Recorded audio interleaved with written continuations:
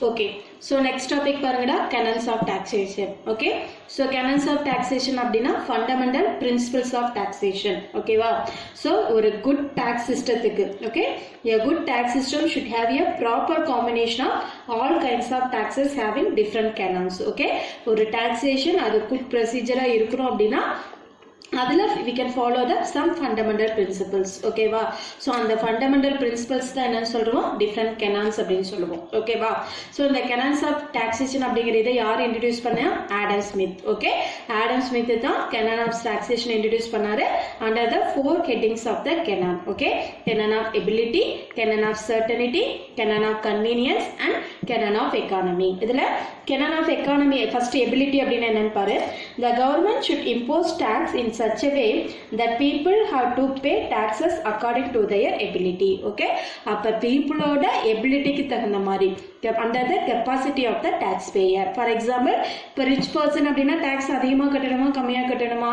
It should be pay the higher tax இதே poor people அப்படின்னா அவங்க என்ன பண்ணணும்? They can pay the lowest tax ஓகேவா அப்போ according to the ability of the tax பேயருக்கு தகுந்த மாதிரி they can frame the fundamental taxation அந்த கெனானுக்கு என்னடா பேரு? Canon of ability and second canon பாரு canon of certainty சர்டனிட்டினா surety okay so the government must ensure that there is no uncertainty regarding the tax or the time of payment okay so என்னது? For example, if the government collect taxes arbitrarily, then they will adversely affect the efficiency of the people and their working ability too. ஓகேவா so எந்த ஒரு certainty நேச்சரும் இல்லாமல் government வந்து என்னது? அவங்க இஷ்டத்துக்கு tax விதிக்கிறது எப்போ வேணாலும் பே பண்ணுறது அந்த மாதிரி இருந்தது அப்படின்னா அது டேக்ஸ் பேயருக்கு இன்கன்வீனியண்ட்டாக இருக்கும். சரியா? அப்போ எப்படி இருக்கணும்? டேக் என்னன்னா சர்டனிட்டி பீப்புளோட ஒர்க்கிங் எபிலிட்டிக்கு தகுந்த மாதிரி என்ன பண்ணணும்? சர்டனிட்டி வந்து ஃபிக்ஸ் பண்ணணும். சரியா? ஸோ அதுக்கு பேர் என்னது? கெனனா சர்டனிட்டி அடுத்தது பாரு கெனனா கன்வீனியன்ஸ் ஓகே டேக்ஸ் பேயரோட கன்வீனியன்ஸுக்கு தகுந்த மாதிரி. So the method of tax collection should be at the time of tax payment should be the convenience of the people okay இதுக்கு பெஸ்ட் எக்ஸாம்பிள் ஃபார் எக்ஸாம்பிள் இப்போ இன்கம் டேக்ஸ் பார்த்தீங்கன்னா source of income அந்த monthly இன்கம்லேயே என்ன பண்ணுவாங்க? Tax வந்து பிடிச்சிப்பாங்க. ஓகேவா sales tax பார்த்தீங்கன்னா இந்த குட்ஸ் அண்ட் சர்வீசஸ் சேல்ஸ் பண்ணுறப்ப ஓகேவா ஸோ லேண்ட் டேக்ஸ் பார்த்தீங்கன்னா ஆஃப்டர் ஹார்வெஸ்ட் அப்போ டேக்ஸ் பேயரோட கன்வீனியன்ட்டுக்கு தகுந்த மாதிரி மாதிரி அடுத்த கெனான் இருக்கணும். அதுக்கு பேர் கெனன் ஆஃப் கன்வீனியன்ஸ் அடுத்தது canon of economy canon of economy அப்படிங்கிறது டேக்ஸ் பேயர் டேக்ஸ் கட்டுறப்ப அவங்களுக்கு எந்த ஒரு காஸ்ட் ஆஃப் கலெக்ஷன் வந்து அதிகமாக இருக்கக்கூடாது. ஓகேவா அது எப்படி இருக்கணும் அப்படின்னா எக்கானமியா சிக்கனமாக இருக்கணும்னு சொல்கிறாங்க okay so the government has to spend money for collecting taxes for example salaries are given to the person who are responsible for collecting tax. So the taxes where collections cost are more or consider as bad tax. அப்போ நம்ம கட்டுற tax அமௌண்ட்டை நம்ம அந்த collection of tax வந்து அதிகமாக இருந்தது அப்படின்னா அது extra burden of the tax payer ஓகேவா அப்போ ஒரு குட் டாக்ஸ் சிஸ்டம் அப்படிங்கிறது ஒரு குட் எக்கனாமிக்கலாக இருக்கணும். ஓகே அதோட காஸ்ட் ஆஃப் கலெக்ஷன் எப்படி இருக்கணும்? இட் ஷுட் பி மினிமம் ஓகேவா ஸோ இதுதான் என்னது? Different canons of taxation canon of ability according to capacity of tax payer canon of certainty canon of convenience and canon of economy. ஓகேவா so So, அடுத்த topic பாரு. Direct tax and indirect tax okay very very important topic ஓகேவா இப்போ first direct டேக்ஸ்னா என்ன? Indirect டேக்ஸ்னா என்ன?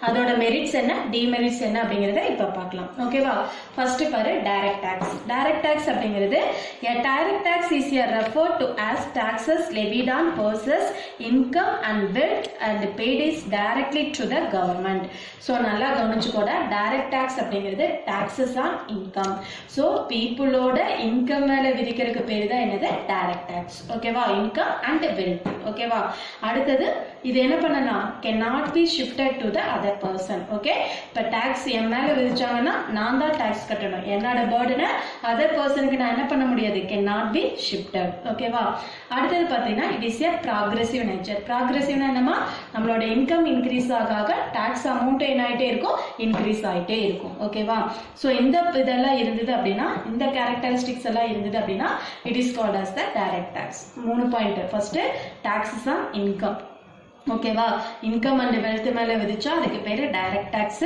அது டைரக்டா தான் நமக்கு வந்து என்ன பண்ண முடியும்? கவர்மெண்ட்டுக்கு பே பண்ணணும். இந்த பேர்டன் ஆஃப் டேக்ஸை இன்னொரு பர்சனுக்கு என்ன பண்ண முடியாது? கேன் நாட் பி ஷிஃப்டட் ஓகேவா this is called as the direct tax அடுத்தது பாரு.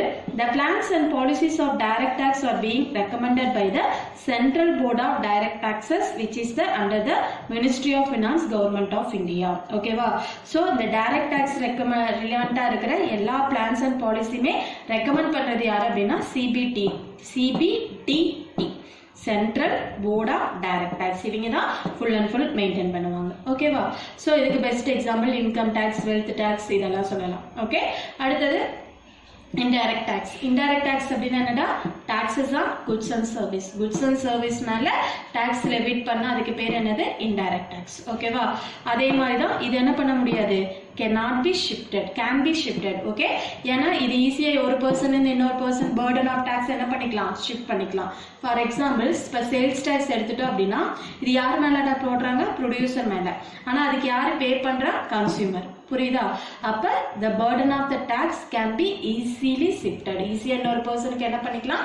ஷிஃப்ட் பண்ணலாம். ஓகேவா இதுக்கு எக்ஸாம்பிள் பாரு. Excise duty sales tax custom duty entertainment tax ஓகேவா ஸோ இப்போ இது எல்லாமே சேர்ந்து இப்போ ஃபுல்லா என்னவா மாறிடுச்சு? ஆல் இன்டைரக்ட் டேக்ஸ் எல்லாமே என்னவா மாறிடுச்சு? ஜிஎஸ்டியா மாறிடுச்சு. ஓகேவா அடுத்தது இதோட மெரிட்ஸ் டிமெரிட்ஸ் பிரீஃபா பார்க்கலாம். ஓகே பாரு மெரிட்ஸ் ஆஃப் டைரக்ட் டேக்ஸ் ஓகேவா ஸோ அதில் ஃபர்ஸ்ட் ஒன் பார்த்தீங்கன்னா equity okay merits of direct டேக்ஸில் first one என்ன? ஈக்விட்டி ஸோ டைரக்ட் டேக்ஸ் எல்லாமே என்னது? ப்ராக்ரெசிவ் ப்ராக்ரெசிவ்னா என்ன சொன்னேன். இன்கம் இன்க்ரீஸ் ஆக ஆக டாக்ஸ் ரேட்டும் இன்க்ரீஸ் ஆகும் so rate of tax varies according to the tax base for example income tax satisfy the canon of equity income நம்மளோட இன்கம் இன்க்ரீஸ் ஆக ஆக டாக்ஸ் ரேட்டும் என்ன ஆயிட்டே இருக்கும் இன்க்ரீஸ் ஆயிட்டே இருக்கும் ஓகேவா அடுத்தது பார்த்தீங்கன்னா certainty so canon of certainty can be ensued by direct tax. For example, income taxpayer knows when and what rate he was to pay the income tax. நமக்கு தெரியும். எங்க பே பண்ணணும் எவ்வளவு அமௌண்ட் பே பண்ணணும் நம்மளோட இன்கம் டேக்ஸ்லயே அதை கழிச்சுக்குவாங்க. ஸோ அந்த எல்லா சர்டனிட்டியும் எதுல இருக்கு அப்படின்னு பார்த்தீங்கன்னா டைரக்ட் டேக்ஸ்ல அடுத்தது பார்த்தீங்கன்னா எலாசிட்டி நேச்சர் எலாசிட்டினா என்னமா flexibility Direct taxes also satisfy the canon of elasticity. Income tax is income elastic in nature. As income level increases, the tax revenue to the government also increases. Okay, flexible. நம்மளோட என்னது tax income tax increase ஆச்சு அப்படின்னா கவர்மெண்டோட இன்கமும் என்னாகும்? Increase ஆகும். So it is the elasticity nature.